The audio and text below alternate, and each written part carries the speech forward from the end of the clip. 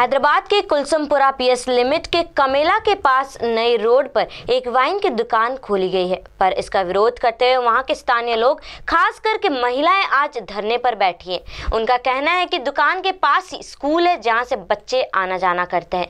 अगर वहाँ पर वाइन की दुकान खुली तो वहाँ से लड़कियों का जाना मुश्किल हो जाएगा।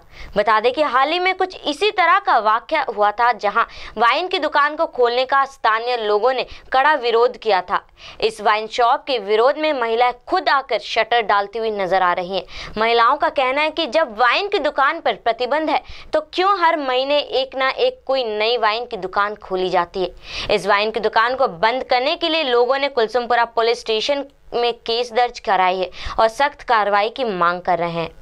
हैदराबाद से मोहम्मद हामिद की रिपोर्ट।